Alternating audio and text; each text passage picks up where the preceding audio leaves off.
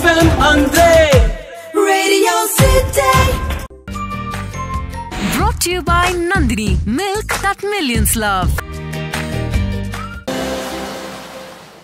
ನೇಪಥ್ಯಕ್ಕಾಗಿ back ಸ್ಟೇಜ್ಗಾಗಿ ಕೆಲಸ ಮಾಡ್ತಾ ಇದ್ದೆ ಸೋಲು ಅಂತ ಆಗಿಲ್ಲ ಅವಮಾನಗಳಾಗಿದ್ದಾವೆ ಅವಮಾನಗಳು ಎಲ್ಲರ ಜೀವನದಲ್ಲೂ ಆಗಿರುತ್ತೆ ಎಲ್ಲೋ ನಾವು ಒಳಗಡೆ ಹೋಗಬೇಕು ಅಂತಿರ್ತೀವಿ ನಾವು ಯಾರು ಅಂತ ಅವ್ರಿಗೆ ಗೊತ್ತಿರಲ್ಲ ಬಿಡಲ್ಲ ನಮ್ಮನ್ನು ಒಳಗೆ ಉದಾಹರಣೆಗೆ ಹೇಳ್ತೀನಿ. ಪುಟ್ನಂಜ ಅಂತ ಸಿನಿಮಾ, ಅತ್ಯಂತ ಯಶಸ್ವಿ ಸಿನಿಮಾ.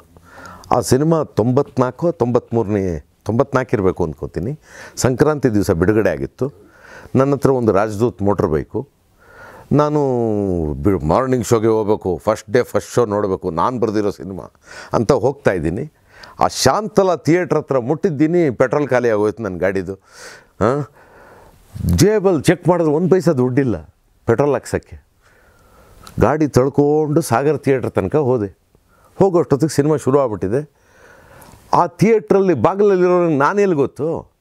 ಅವನು ನನ್ನ ಒಳಗೂ ಬಿಡಲಿಲ್ಲ ಸರಿ, ಇನ್ನೇನು ಮಾಡೋದು?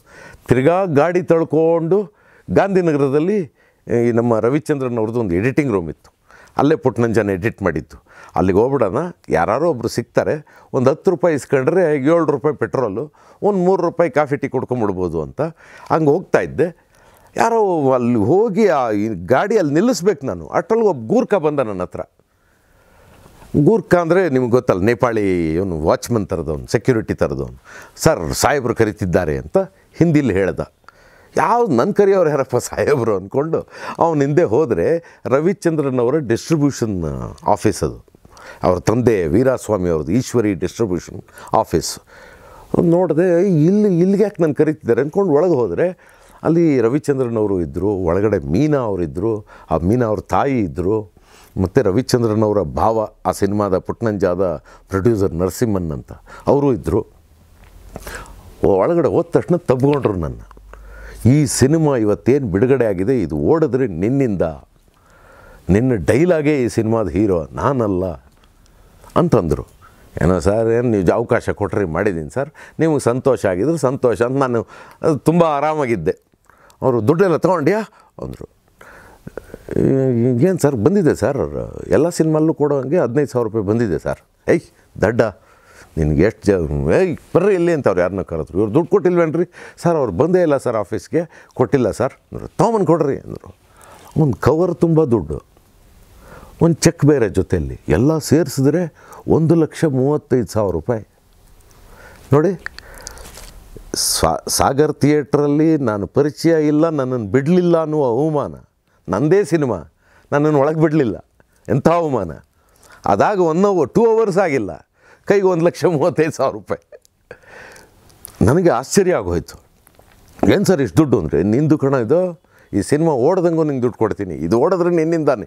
ಅಂತ ತಿರ್ಗಾ ಹೊಗಳಿದ್ರು ಏನು ಮೀನಾ ಅವರು ಹೊಗಳಿದ್ರು, ಮೀನಾ ಅವ್ರ ತಾಯಿ ಹೊಗಳಿದ್ರು ಅವ್ರು ನರಸಿಂಹನ್ ಅಂತ ಅವರು ಪ್ರೊಡ್ಯೂಸ್ ಅಂದರೆ ಅವ್ರ ಭಾವ, ರವಿಶಂಕರ್, ರವಿಚಂದ್ರನ್ ಅವ್ರ ಭಾವ, ಅವರು ಕೂಡ ಹೊಗಳಿದ್ರು. ಆಚೆ ಬರ್ತೀನಿ ಸಿಕ್ಕದವರೆಲ್ಲ ಹೊಗಳ್ತಾ ಇದ್ದಾರೆ. ಬೆಳಿಗ್ಗೆ ಅಂಥ ಅವಮಾನ. ಗಾಡಿ ತಳ್ಕೊಂಡು ಹೋಗಿದ್ದೀನಿ. ಈಗ ಜೇಬ್ ತುಂಬ ದುಡ್ಡು. ಈ ವ್ಯತ್ಯಾಸ ಇದೆಯಲ್ಲ? ಇದೇ ಜೀವನ. ಇದು ಜೀವನದ ಸತ್ಯ. ನಾವು ಮಾಡುವ ಕೆಲಸಕ್ಕೆ ಪ್ರಾಮಾಣಿಕವಾಗಿರಬೇಕು.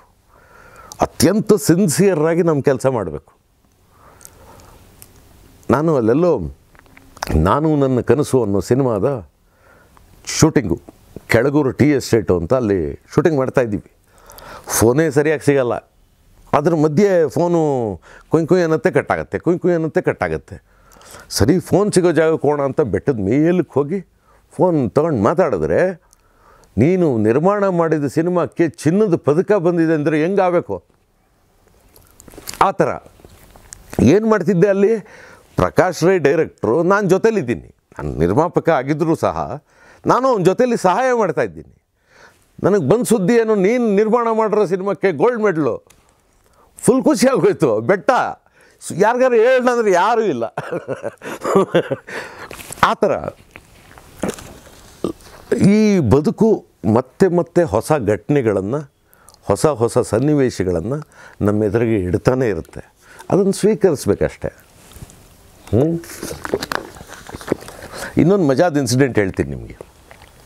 ಎಂಬತ್ತೈದನೇ ಇಸ್ವಿ, ರಾಮಕೃಷ್ಣ ಹೆಗಡೆ ಅವ್ರ ಸರ್ಕಾರ ವಿಶ್ವ ಕನ್ನಡ ಸಮ್ಮೇಳನ ಮಾಡ್ತಿದ್ರು ಮೈಸೂರಲ್ಲಿ.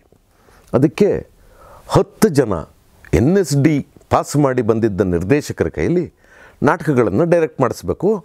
ಅದರಲ್ಲಿ ಎರಡು ನಾಟಕವನ್ನು ಆಯ್ಕೆ ಮಾಡಿ ವಿಶ್ವ ಕನ್ನಡ ಸಮ್ಮೇಳನದಲ್ಲಿ ಅದು ಪ್ರದರ್ಶನ ಆಗಬೇಕು ಅಂತ ತೀರ್ಮಾನ. ಸರಿ, ಎಂಟು ಜನ ಬೇರೆ ಬೇರೆ ಡೈರೆಕ್ಟರ್ಗಳು ಡೈರೆಕ್ಟ್ ಮಾಡ್ತಿದ್ರು.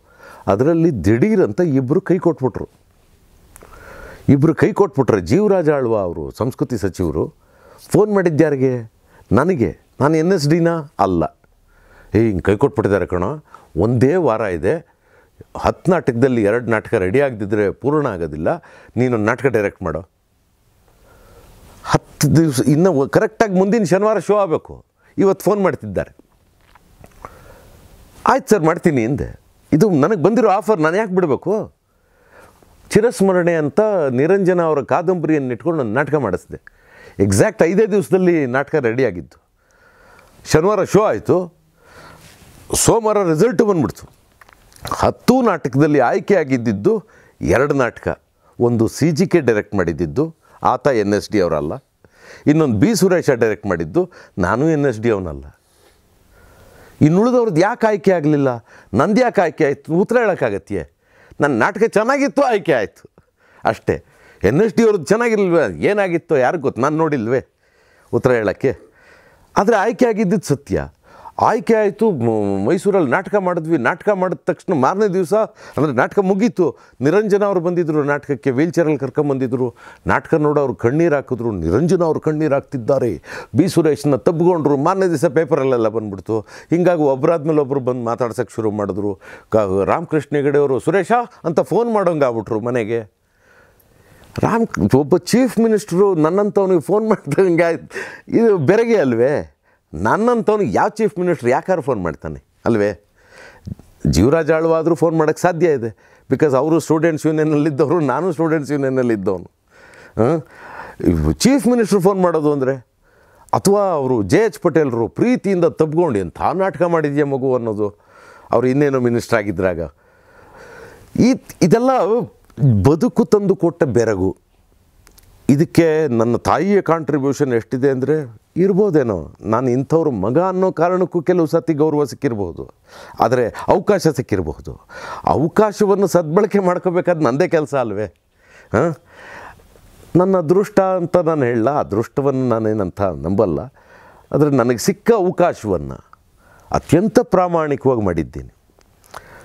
ಅದು ಒಳ್ಳೆಯ ಫಲಿತಾಂಶ ಕೊಟ್ಟಿದೆಯೇನೋ? Chittara Kannada YouTube channel like ಮಾಡಿ, ಸಬ್ಸ್ಕ್ರೈಬ್ ಮಾಡಿ. ಯಾಕಂತಂದರೆ ಸೂಪರ್ ಆಗಿರುವಂಥ ಒಂದು ಮೆಚ್ಯೂರ್ಡ್ ಲೆವೆಲ್ ಆಫ್ ಇಂಟರ್ವ್ಯೂ ಎಲ್ಲ ಆರ್ಟಿಸ್ಟು ನಿಮಗೆ ಸಿಗುತ್ತೆ. ಆ್ಯಂಡ್ ತುಂಬಾ ಒಂದು ಇನ್ಫಾರ್ಮೇಟಿವ್ ಆಗಿರುತ್ತೆ.